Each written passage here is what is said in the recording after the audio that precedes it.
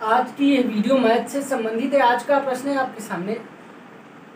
यदि दो संख्याएँ तीसरी संख्या से क्रमशः तीस प्रतिशत तथा चालीस प्रतिशत अधिक हों तो दूसरी से पहली का प्रतिशत कितना है? तो चलिए इसको हल करते हैं। हल करने से पहले अगर चैनल पर नए आए हैं, अभी तक सब्सक्राइब नहीं किए तो कर लीजिएगा, क्योंकि हमारे चैनल पर ऐसी नॉलेज वीडियोज़ प्रतिदिन अपलोड करी जाती हैं। नोटिफिकेशन पाने के लिए ज़रूर ऑन करिएगा। ध्यान दीजिएगा। सबसे पहले मान लेते हैं माना तीसरी संख्या। एक्स है। क्लियर तीसरी संख्या हमने एक्स मान लिया। ध्यान दीजिएगा। प्रश्नानुसार प्रश्न कह रहा, तीसरी संख्या से क्रमशः जो दो संख्या है वो तीस प्रतिशत और चालीस प्रतिशत अधिक है। मतलब पहली संख्या तीसरी संख्या x का एक सौ तीस प्रतिशत। मतलब तीस प्रतिशत अधिक का मतलब सौ प्लस तीस मतलब एक सौ तीस प्रतिशत। तो x का एक सौ तीस प्रतिशत का मतलब क्या होगा? एक सौ तीस बट्टा सौ। ज़ीरो से ज़ीरो कट जाएगा तो मान क्या आ जाएगा? तेरह एक्स बट्टे दस। ये आ गई हमारी पहली संख्या। फिर दूसरी संख्या क्या हो जाएगी भाई? दूसरी संख्या तीसरी संख्या से चालीस प्रतिशत अधिक है। मतलब चालीस प्रतिशत अधिक का मतलब क्या होगा? सौ प्लस चालीस मतलब एक सौ चालीस प्रतिशत। और एक सौ चालीस प्रतिशत का मतलब एक सौ चालीस बट्टा सौ। ज़ीरो से ज़ीरो कट जाएगा। दो सौ चौदह, दो पंचे दस। यहाँ पर मान क्या आ जाएगा? Seven x by five. ये हो गया हमारी दूसरी संख्या। अब प्रश्न क्या कह रहा?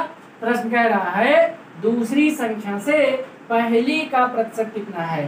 तो हम यहाँ पर मान लेते हैं अगेन माना कि पहली संख्या। पहली संख्या कितनी है? तेरह एक्स बटे दस, ये बराबर है दूसरी संख्या से, दूसरी संख्या क्या आया है? सेवन एक्स बाई फाइव का जेड प्रतिशत। क्लियर? तो हमें यहाँ से जेड मान निकालना है या जेड का मान निकालना, जेड प्रतिशत का। तो कैसे होगा भाई? सेवन एक्स बाई फाइव का का मतलब पूरा जेड प्रतिशत का मतलब जेड बट्टा सौ अब क्या होगा? जेड का मान कैसे निकलेगा भाई? ये सब पूरा मान जो है हम इधर भेज देंगे। तेरह एक्स बटा दस, यहाँ पर भी लिख लेते हैं, एक्स से एक्स कट जाएगा, पहली बात। अब जेड बराबर क्या हो जाएगा? तेरह और ये जो अपान में इधर आएँगे मल्टीप्लाई में तो तेरह गुड़े पाँच गुड़े सौ।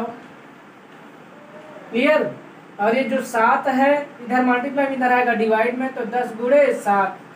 अब एक ज़ीरो से एक ज़ीरो कट जाएगा। ऊपर क्या बचेगा? ऊपर क्या बचेगा भैया?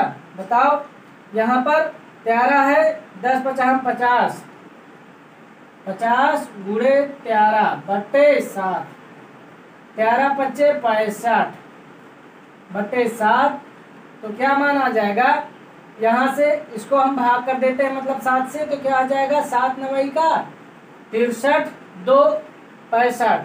तो सात दूनी चौदह चौदह बीस बट्टा सात। मतलब कितने प्रतिशत आ जाएगा? जेड का मान, बानबे सही छह बटा सात प्रतिशत। तो यहाँ पर आपका कौन सा ऑप्शन सही होगा?